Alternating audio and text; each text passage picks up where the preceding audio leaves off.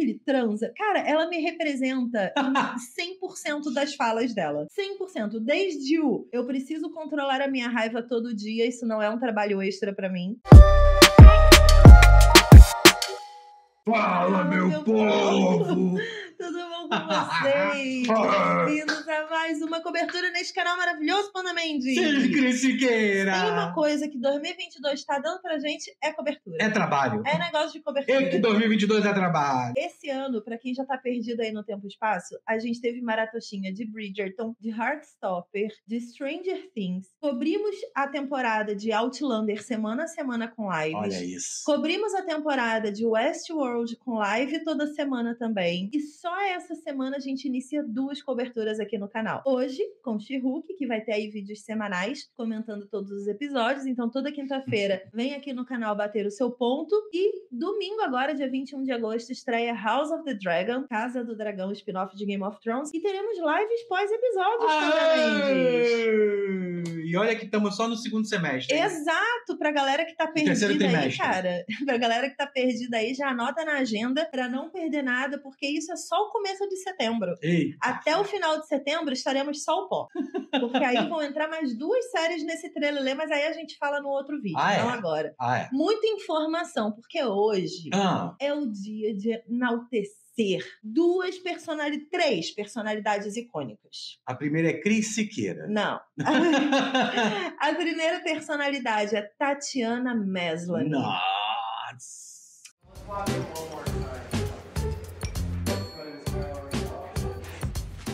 Crush eterno da minha existência. É- Ela é meu crush de beleza, ela é meu crush de força, ela é meu crush de trabalho, ela é meu crush de dedicação, de simpatia, de inteligência, de interpretação. Essa mulher é perfeita. É mesmo. Não tem, é mesmo. não tem que falar de Que Tatiana. atriz completa, cara. É é surreal. impressionante demais. Mas quem são as outras pessoas? Jen e She-Hulk. Ah, Porque assim, sim. esse combo, esse trio perfeito é a combinação perfeita. É a própria triqueta, entendeu? Ah, entendi. Tatiana, She-Hulk e Jen. É surreal. É É surreal. surreal o que essa menina faz. É, é impressionante. Mas assim, pra quem acompanha o trabalho dela, é mais impressionante ainda. Sim. Porque existe Inclusive- algum- algumas decisões que ela faz de interpretação que tornam o personagem único. E que é, incrível. dela, né? A gente É. sabe que é da Uma Tatiana. dedicação dela mesmo. Gente, vou dizer pra vocês que em 2011, Ah. quando eu criei o blog, a primeira campanha Lá vem o grito. para duas pessoas que eu fiz na minha vida, porque, né, quem acompanhava? É,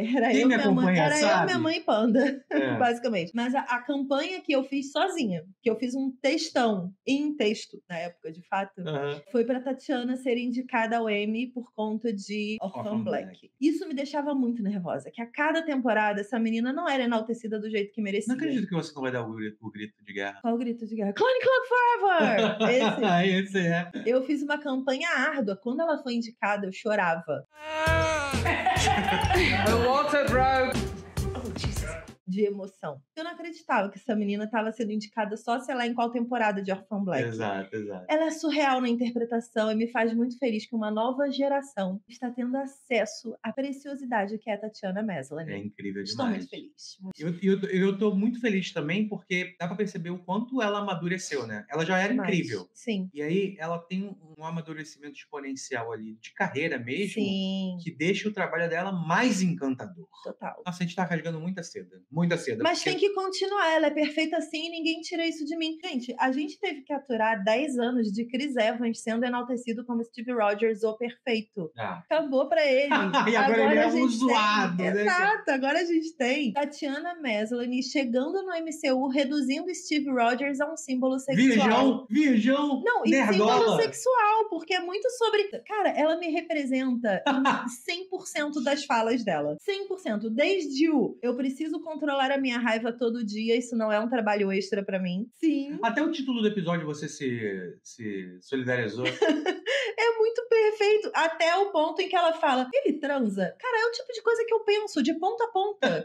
Então, assim, essa menina, ela é a minha representação dentro do MCU. Sim. Eu até coloquei no Twitter, quem não segue a gente, por favor, siga, tá aqui, na, aqui embaixo. Isso, aqui É, embaixo de mim. Eu coloquei hoje assim, cara, ter a Tatiana representando ali tudo que eu existo, tudo que é a minha vida, todas as falas, tudo que eu penso, tudo que eu faço, é muito incrível. E finalmente eu entendo os nerdolas que amam o Steve Rogers e que ficavam felizes com ele aparecendo sorrindo só. Ele não precisava fazer nada, certo? Exato. Ele aparecia e sorria, e todo mundo, meu Deus, perfeito, nunca errou. Sou eu Meu agora. capitão. Sou eu agora com She-Hulk. Ah, entendi. Tô até de verde pra homenagear.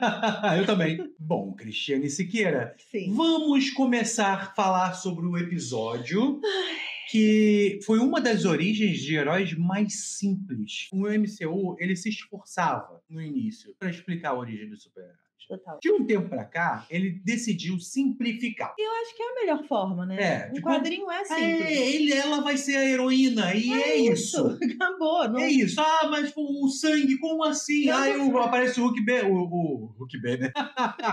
Basicamente isso. É, aparece o Hulk Banner e ele fala assim: uma compatibilidade assim, uma em um milhão É nós isso. temos. Que coincidência incrível. Cara, eu amo a explicação do. Ah, mas por que, que você é o Hulk? Porque eu sou diferente. Aí todo mundo. Tá. É.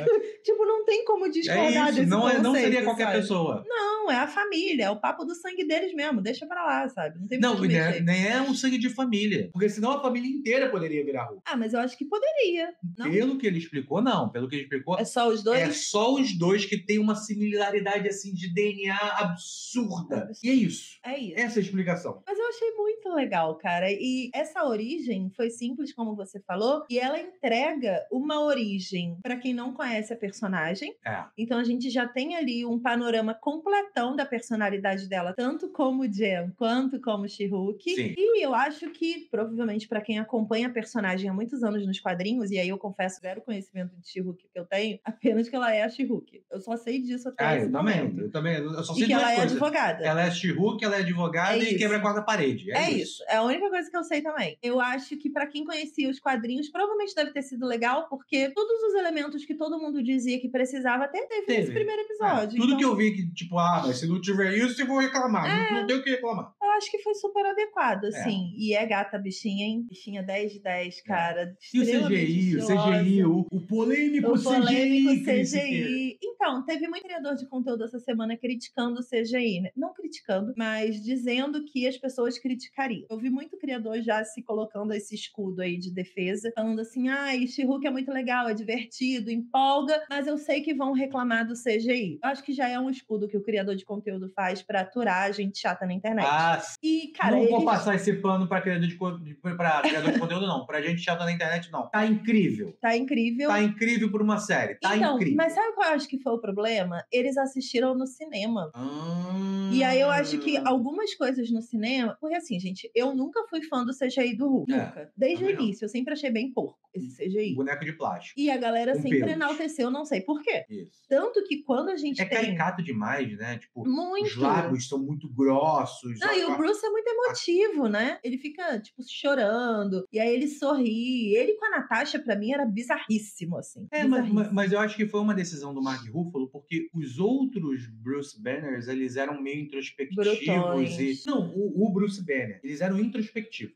Ah, sim, iguais, eram os assim. brucutuzinhos E sérios, aí né? eles tinham medo de ter raiva. Decidiu caminhar por umas questões psicológicas e Sim, filosóficas sim. para conter a raiva. E, cara, é através do legal. conhecimento. E a gente sabe que o Mark Ruffalo ele precisa desses personagens de Chorão. mais terceiras camadas de emoção ali, porque ele é meio que desses. Mas eu achei Ele muito... é só isso, Ele né? é só isso, Ele é muito emocionado. Sim. Mas eu acho muito legal que a série respeitou o CGI do Hulk Sim. e seguiu a mesma linha. Qual é a diferença que eu acho que talvez as pessoas não estejam acostumadas? O Hulk tem o cabelo raspado. A She-Hulk não. Ela tem o cabelo longo que balança ao vento. Se você quer voltar para sua vida de advogada, eu respeito isso. Ele não quis dizer isso. E que, inclusive, eu acho pleníssima, né? Porque ela faz a transformação, o cabelo dela cresce arrumado. Então, É um é, eu acho que é isso que incomoda, que é aquela parada da descrença, sabe? Ah, Porque mas aí tanto faz, não? o cabelo do Bruce Banner, o, o cabelo do Hulk segue, segue o cabelo do Bruce Banner. Aí o cabelo da She-Hulk não. Não. Pra ficar parecido com um quadrinho. Mas eu achei bonito. Eu não me incomodo, não. É, mas, mas, mas, ah, não é o natural da atriz, sabe? Eu Ah, acho que ficaria bonito se parecesse até o cabelo da atriz. Ai, não, eu achei que ela ficou bonita com aquele cabelo grande, assim. Eu fiquei ok dela mudar. Hum. Porque pensa só, se você é uma mulher e você tem um superpoder que transforma o seu corpo, você vai melhorar alguma coisa. Se você fica crossfiteira, é, tem que ter a chapinha, é isso que você quer dizer? Não, não tem que ter a chapinha, mas você tem. Eu não sei como é que funciona a transformação do Hulk, né? Então não tem muito como eu explicar. Se, por exemplo, existe uma. Como é que fala? Um reflexo externo de algo que dentro deles seja uma verdade. Ah, entendi. Sabe? De alguma. Ah, uma vontade interna. Exato, eu não Entendi. sei. Tipo, por que, que o Hulk é do jeito que ele é? Sabe? Ele tem uma Ah, personalidade legal. extra, mas a gente não sabe por que ele é fisicamente daquele jeito. É. A gente só aceitou que ele é daquele jeito. Mas Porque a gente nunca questionou. E, e ele até fala sobre isso, né? Ele- Não existe ninguém no, no controle, no volante, como tipo, você tá no seu corpo, mas tem outra coisa controlando você. É. Ela fala, não. Então, o dela é ela que controla, A gente não sabe se a vontade dele querer controlar faz manter alguma, alguns excessos da Essa é a questão. A- É. O fato da gente ter uma versão diferente de um Hulk, que é ela, a gente questionar algumas coisas o Hulk, jeito né? dele, que É. a gente nunca questionou. E isso foi muito legal, É. que eu achei. E eu achei a dinâmica dos dois muito primos mesmo, sabe? Eu tenho um primo que é insuportável, que nem o Hulk é com ela. Sempre foi insuportável desde que eu nasci. Beijo, se Maurício. você pudesse virar Hulk, você bateria no teu primo, é Se isso? eu tivesse 12 anos e virasse Hulk, ele teria apanhado. ele teria apanhado com certeza. Com certeza. Igualzinho ela bateu no Hulk. Com certeza. Mas de fazer pá e ele voar longe, nossa, mas várias vezes. Quem nunca teve um. Comenta aqui. Se você tem um primo insuportável que encheu a sua paciência a adolescência inteira, se você não bateria nele. Porque eu teria batido no meu. Igualzinho o Shield. Isso vai virar um corte pro Instagram, com certeza. Agora eu vou te dizer que se tem uma coisa que ela me deixa impressionada é no quanto ela me representa em tudo. Tudo, assim. Eu nunca me senti tão bem representada. Tipo, já admirei uma outra heroína ao longo desses tempos, uma outra personagem do universo Marvel e da DC, mas ela, ela me representa em tudo. Eu Cara, fico impressionada. Eu, eu fiquei impressionado com a quebra da quarta parede inicial, assim. Dela sair do escritório, olhar pra câmera rapidinho e falar: Ah, eu esqueci um negócio, voltar, fechar a porta e conversar com a gente. É, o objetivo era esse, né? Porque senão, se ela começasse a conversar. Então, a parada é que as outras pessoas veem que ela tá quebrando, né? E Sim. meio que não entendem. Sim. E aí ela terminar a frase falando: Ok, expliquei tudo, agora vamos pra minha série de advocacia. Eu achei incrível isso. Todos os fãs de How to Get Away with Murder, Suits. de Suits, de tudo quanto é série de advogado, levantou e bateu palmas de pé no meio da Exato, sala. Exato, foi muito É legal. perfeito. Eu amo esse tipo de série. Então, assim, botou Tatiana Maslany de terninho defendendo a honra de outras pessoas, ela já tá ganhando meu aplauso. É. Eu vou rasgar seda pra ela do início ao fim. Entenda. Você reparou que o poder da quarta parede veio com a She-Hulk? O poder Ela da é- quarta parede. Porque pra, da quebra da quarta parede. Quando ela quebra a quarta parede no início, ela fala assim: eu converso com vocês. Ela pontua isso como se fosse um algo extra. E quando ela tá na ilha, que ela olha pra gente e fala, ele não pensa assim, que é a primeira vez tá. que ela quebra a quarta parede como She-Hulk, ela estranha. A quebra da quarta parede veio com a She-Hulk. Seria legal se trabalhasse isso, né? Questionasse se era realidade ou não a quebra da quarta parede, porque como ninguém vê, não é real. Sim. Só ela vê. E, e eu fiz uma referência à questão do trabalho do advogado mesmo. O advogado ele está sempre ponderando e fazendo considerações, né? Num tribunal. Tem essa cena, inclusive, nesse primeiro episódio, em que ela levanta para as considerações finais. E aí aquilo são os comentários do advogado sobre tudo que foi apresentado num julgamento. A quebra da quarta parede, para mim, tem muito esse sentido com ela. Caramba, total. Como porque coisas inicia dessa forma, né? Ela É. conversando com um, um júri imaginário, Sim. com membros do júri, Exato. vimos aqui hoje, não sei o quê, e ela tá conversando com pessoas imaginárias. ali. Exato, e é como se a gente fosse esse júri imaginário Nossa, da vida verdade. dela. Eu fiquei muito com essa sensação. Eu achei muito legal. Eu acho interessante se trabalhasse essa ideia de a realidade ou não Uhum. sobre a quebra da quarta parede. Sempre vir alguém e falar, cara, isso pode ser um, algum efeito Ah, das- do- entendi. do, raio gama, essas paradas assim, sabe? Da contaminação pelo sangue. Pode ter exponenciado e mudado um pouco a cabeça dela pra ela achar que tá vendo alguma coisa. Tá, como se fosse uma alucinação? É, e aí provar que não seria interessante. Mas eu fico pensando, se o Bruce tá dentro dele, conflitando o tempo todo, Hulk e Bruce, e eles discutem, né? Eu não lembro se era Vingadores Ultimato ou Guerra Infinita, que a gente viu discussões entre o Hulk e o Bruce fisicamente, né? Ele transformava em Bruce, transformava em Hulk, e eles brigavam entre si, eles quase que guerreavam. Até em. Ragnarok, né? Quando ele fala, Isso. se transforma, aí o Hulk aparece e fala, Não! Então eles estão discutindo. Nós somos essa pessoa pra She-Hulk. É. Ela não discute com ela mesma, ela discute com a sociedade. Nossa. Isso é muito engraçado, E é muito assim. reflexo da profissão da dela. profissão, exato. Ela tá o tempo todo discutindo com a sociedade, cara. Isso é muito sensacional. Ela é, É. incrível. É. Uma coisa que eu achei muito maneira nesse primeiro episódio, que assim, ele não se atenta a defender o, o mal, né? Não é uma história do bem contra o mal ali. Hum, Acho que no fim, no fim das contas deve ser. É, eu acho que pode caminhar porque tem que seguir a cronologia de uma contação de história. Sim. E não vai ficar caso a caso ali. E não é sempre que ela vai estar no tribunal e vai alguém invadir o tribunal, ela bate nesse alguém e acaba o episódio. Acho que seria bem fraquinho se fosse alguma coisa do tipo. Uhum. Mas eu acho que o, o grande vilão dela é o vilão moral. Total. Porque ela tem superpoderes e é o primeiro discurso dela, né? É. Sobre ter superpoderes e a obrigação de usar os seus superpoderes para defender a sociedade. E eu acho que até sobreviver, né? Ela vai usar muito esse superpoder pra sobreviver também. Você vê que os dois casos ali que a gente tem muito claros dentro desse primeiro episódio são, primeiro, uma tentativa de abuso, que é quando ela tá no bar e os caras vão pra cima dela meio que pra abusar dela, Ela e são três controle. caras contra uma mulher. É. E aí,